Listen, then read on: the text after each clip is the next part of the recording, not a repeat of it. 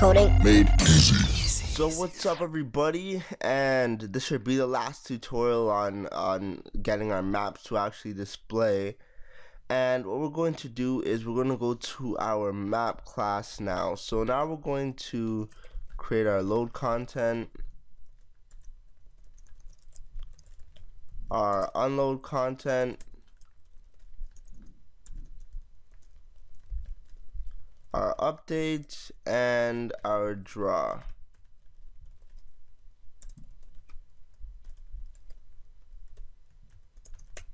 Okay so what we're going to do now in our map class is in the private section we are going to create a vector of our layer. And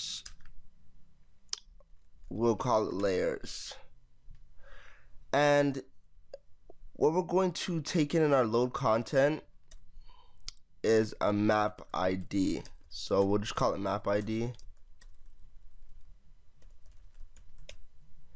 and we'll make a string to it as well just in case we need to make like we need to get it or whatever. So we'll, store map ID in here. So So we'll just say that this map ID is equal to map ID. So, uh, so yeah. So we, we have we have our map ID and what we're gonna do, we're just gonna say uh I'll just create a layer instance because we only have one layer right now. And I'm gonna say layers dot push back and I'll put the layer instance in there and we'll say layers dot load layers zero dot load content. And for the layer ID I'm just gonna put in layer one.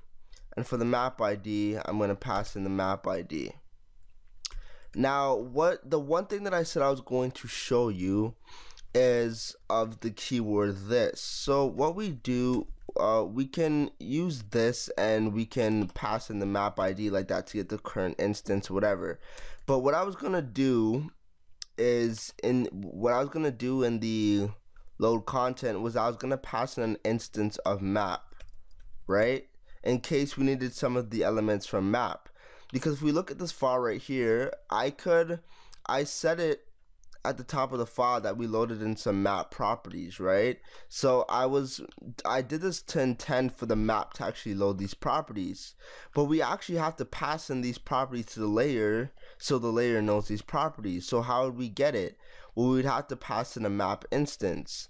Now, if we were to pass in a map instance like so, in order to get the current instance of map, all we'd have to do is just make a pointer and just say this like that and what that would do is pass in the current map instance. So therefore we wouldn't have to take in a map parameter like that to pass it in.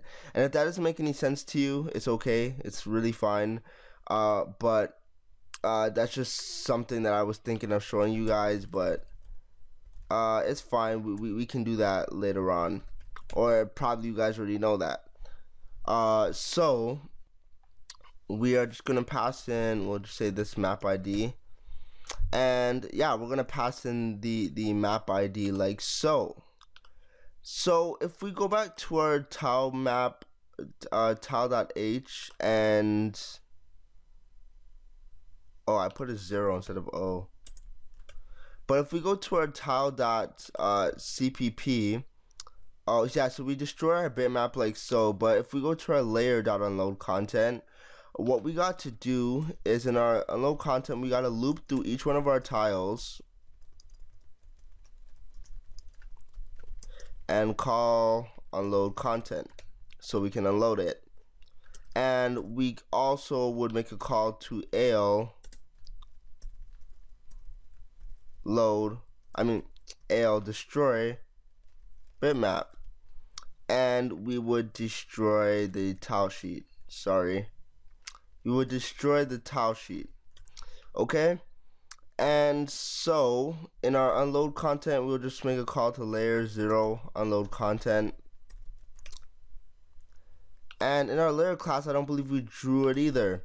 So what we're going to do is just loop through each one of the tiles.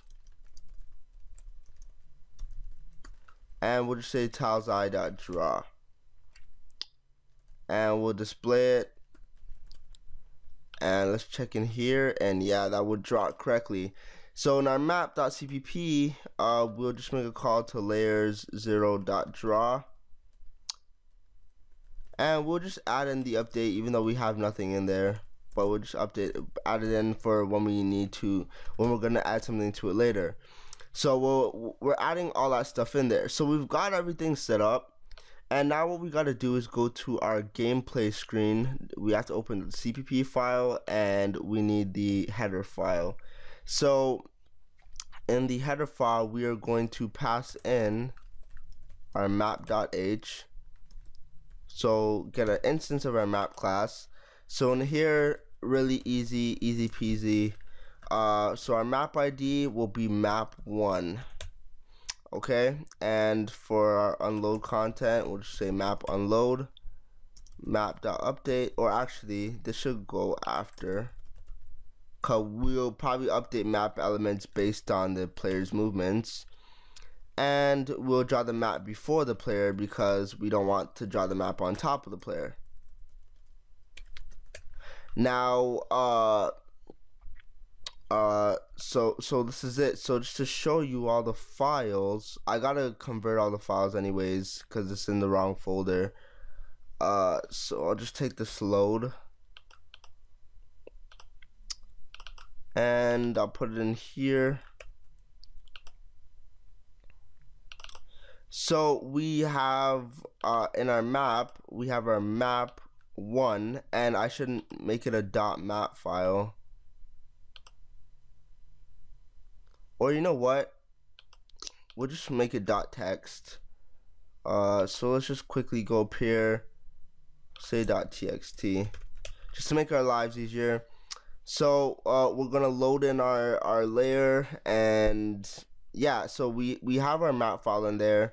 We load in our layer, load in the tile sheet, and I I have a tile sheet image that I put in there, and just to show you the tile sheet image so, oh, I didn't even pass that in either. So it wouldn't have worked. So I put it in a, a folder called tile sheets and I'll show you this in just a second.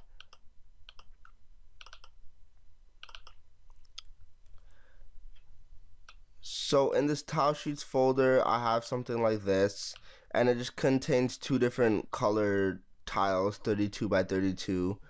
And the first one's a transparent one, but it doesn't really matter about that. But uh, yeah, so th those are my tiles that we're going to be cropping out. And so what we're going to do is we're going to build this and let's see if we have any errors. I feel like I'm missing out on telling you guys something. I feel like I am, but I don't know what it is. So if I forgot to state something, let me know in the description below, but I feel like I'm forgetting to tell you guys something. Hopefully I remember by the end of the video. So we've got a linker error to uh, to set tiles, and uh, the problem was I forgot to do that. So remember to use the scope operator. So let's run this again. So the build succeeded. So let's see if it draws to the screen. And voila, our map gets drawn to the screen the way it should be drawn. Okay?